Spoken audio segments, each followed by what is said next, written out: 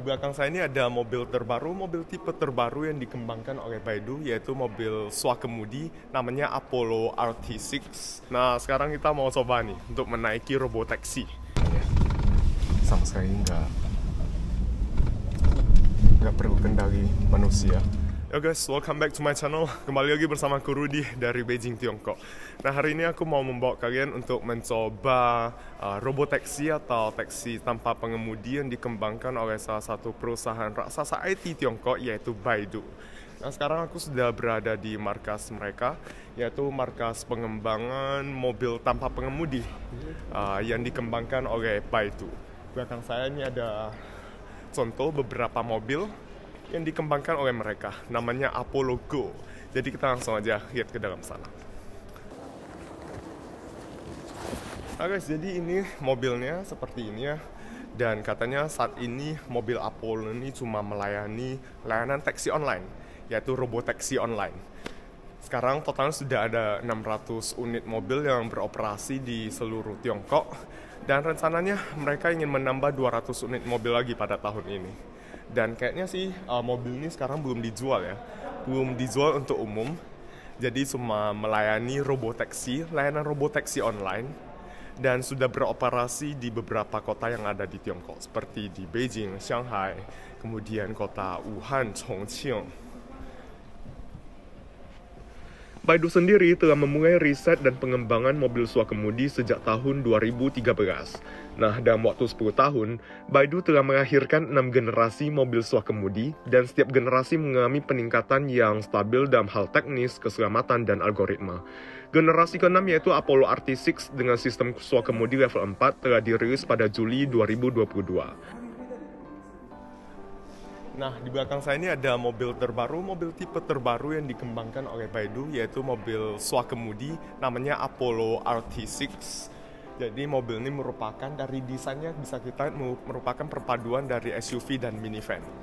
Dan mobil ini juga dilengkapi dengan sensorik yang bisa mendeteksi keadaan lingkungan sekitar sehingga dapat beroperasi secara mandiri. Jadi layanan robotaksi dari Apollo ini katanya sudah melayani 1,4 juta pesanan totalnya hingga semester ketiga tahun 2022.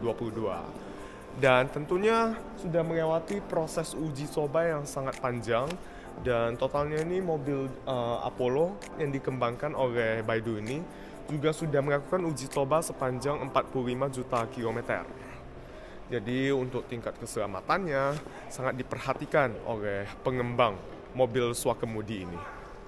呃，目前来看，百度的自动驾驶测试里程已经超出超过了四千五百万公里，并且我们拥有的专利足数达到了三千四百七十七件，这样呢也是达到了全球第一的这样一个水平。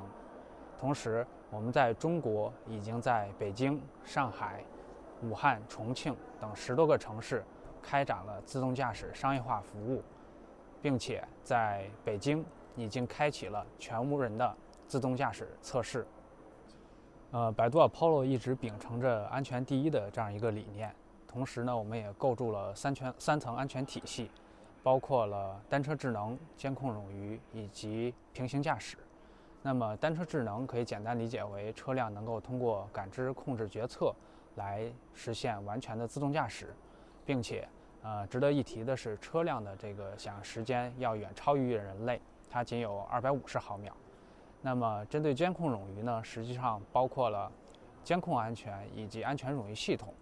那么，监控安全实际上指的我们车辆是可以随时随地发现自身出现的问题。那么，安全冗余系统就能够保证，当任何一个硬件或者系统发生问题的同时，我们呢有一套冗余系统进行保障。就好比这辆车有两个 AI 司机，当一个 AI 司机出了小差儿，可能另外一个司机就能及时补位。那么平行驾驶指的是百度 Apollo 的 5G 云代驾，我们可以通过云端驾驶的一个能力，来在极端场景下解决无人驾驶中遇到的一些长尾问题，来保证我们的自动驾驶车辆能够安全的行驶。Dan di sini ada bengkel ya, bengkel dari Apollo Baidu ini. Jadi di sini robo-robo taksi itu dipelihara, dirawat, kemudian diservis di sini. Dan di Beijing sejauh ini dia cuma melayani sebuah area doang, yaitu sebuah area yang bernama Yichuang. Jadi belum beroperasi secara luas juga, masih melakukan uji coba secara berkala. Jadi ini cukup besar bengkelnya ya.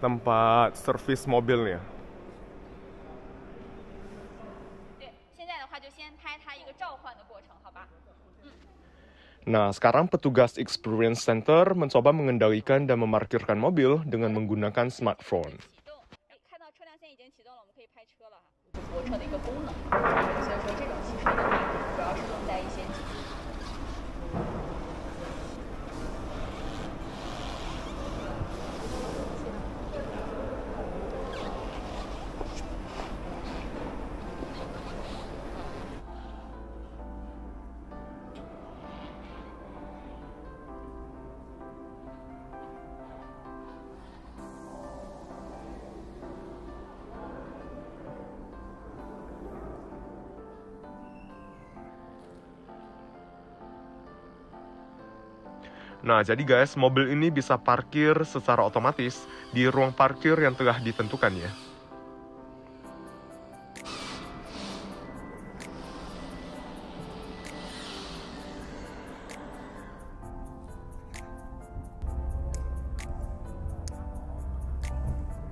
Nah, sekarang kita mau coba nih untuk menaiki robotaxi. Jadi, robotaxi yang sudah beroperasi di daerah sini, di daerah Yichuang, Beijing. Kita dikasih kesempatan untuk mencoba ya, untuk naik ke dalam robotaxi ini. Apakah betul bisa berkemudi secara otomatis tanpa operator manusia? Nah, sekarang kita masuk ke dalam. Ini namanya robotaxi.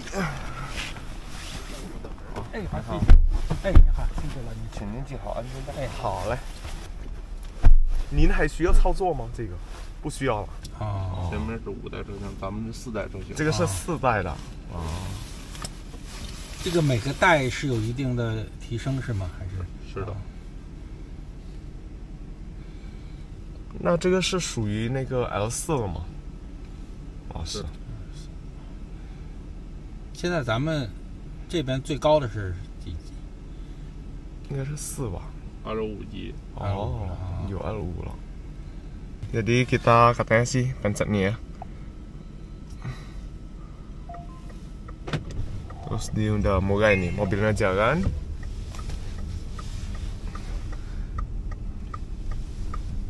Jadi nggak usah mengontrol setirnya itu, jalan sendiri. 这个也不用踩油门吗？不用，啊，下面有没有油门？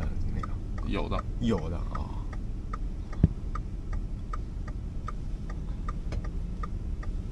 Jadi sama sekali eh, nggak perlu dikontrol, dioperasikan oleh manusia.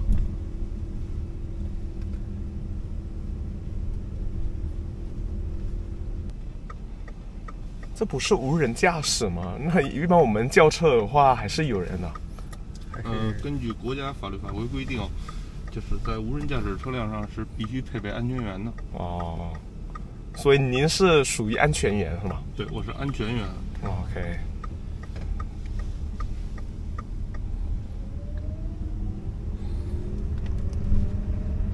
然后有红灯的话，它也自己能检测到。是的， Oh, jadi depan tuh tadi, oh ini sekarang lampu hijau. Jadi jalan terus. Nah kakinya itu sama sekali nggak injak gas ya. Jadi bisa jalan sendiri. Bisa mendeteksi juga uh, s- keadaan lingkungan sekitar. Misalnya lampu merah, kemudian ada pembatas jalan dan rintangan-rintangan yang ada di sekitar.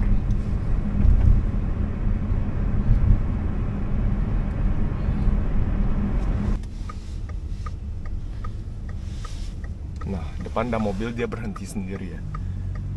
Nggak injak rem juga.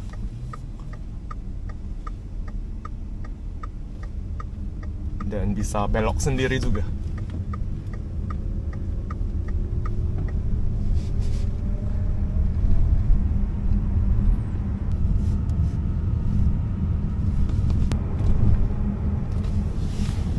Sini ini ada lampu merah. Jadi di atas layarnya nih, petanya itu terdeteksi lampu merah, terus ini mobilnya berhenti ya.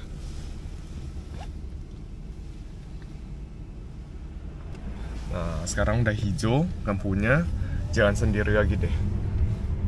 Tanpa dikendalikan ya.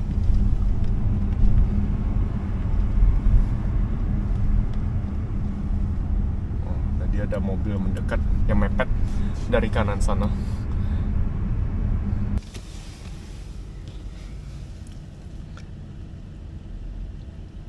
Ini kelihatan ya, dia ada sensoriknya seperti ini. Samping kalau ada mobil yang lewat seperti ini bisa terdeteksi. Kelihatan ya, sama sekali nggak nggak perlu kendali manusia. Tadi banyak sekali mobil mepet-mepet. Ada dua mobil di kanan kiri tadi.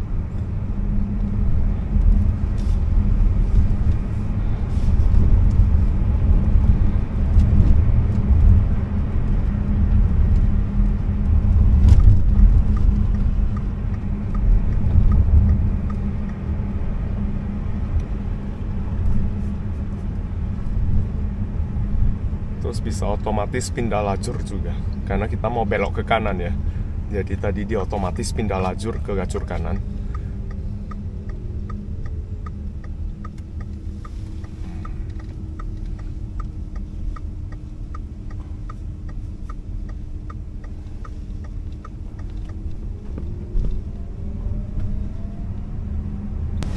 Nah, sekarang mobil ini melaju dengan kecepatan 67 km per jam. Wah, hampir 70 km per jam ya, lumayan cepat. Sisa perjalanan masih ada 500 meter lagi. Kita udah mau sampai ke titik awal keberangkatan tadi. Kakinya tuh sama sekali nggak gerak guys ya jadi memang nggak injak rem, nggak injak gas juga, semua bekerja secara otomatis.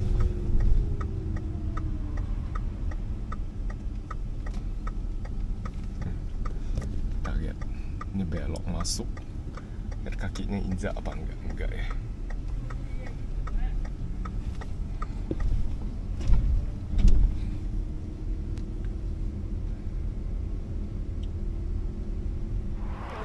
Nah sekarang kita coba lihat ya, ini mobilnya tanpa pengemudi sama sekali, jadi mau coba beroperasi tanpa pengemudi.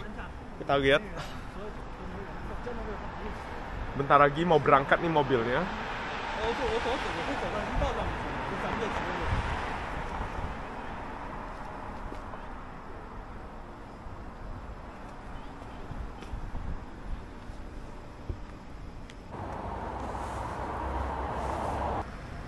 Nyetir sendiri mobilnya.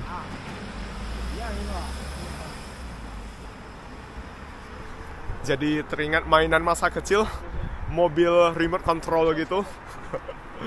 Dan tuh mobilnya cuma muter sebentar habis itu balik lagi ke sini. Nanti kita lihat ya. Dia parkir sendiri tempat ini lagi. Oke guys, sekian dulu ulasan mengenai robotaksi kali ini. Bagaimana pendapat kalian mengenai masa depan robotaksi? Ke depannya, apakah pekerjaan supir taksi akan sepenuhnya digantikan oleh robot dan teknologi AI? See you next time. Bye-bye.